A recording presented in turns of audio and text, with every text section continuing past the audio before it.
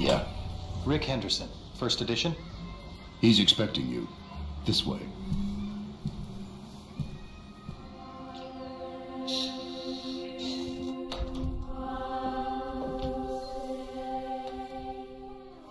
Rick Henderson.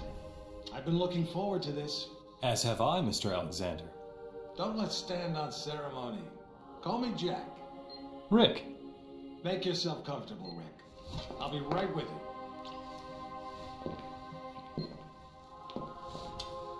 I admire your work. Real journalism. Thanks.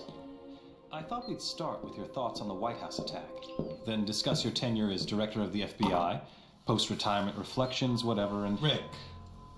Or if you want to sound off on politics. Rick. My apologies. This interview about me is just a cover for a more sensitive story. I'm sorry to have lured you here under false pretenses, but I couldn't risk a leak. I'm not sure I understand. Don't worry. It's the scoop of the century. If I had a dime for every time I heard that. Listen, please. It begins with a little incident at a vineyard in Chile that caught my eye some time ago. This was a family business. Fernando Delgado and his son Manuel. Well liked, hardworking men. Have a look at the folder.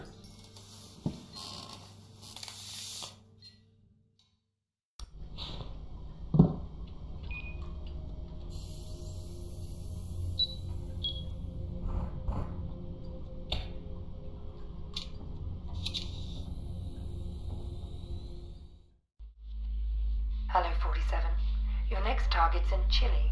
His name is Fernando Delgado.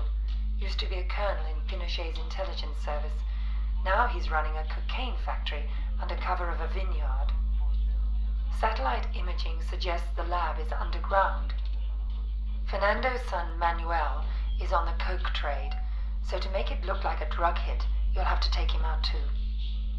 We'll get you in with a pensioners club from Santiago for the big celebrity unveiling of Delgado's new wine label, named for 80s B action star Rex Stanton. There'll be at least one TV crew on hand, so keep an eye on them and their cameras. Delgado's got a seaplane, and that may be your best way to get out in a pinch.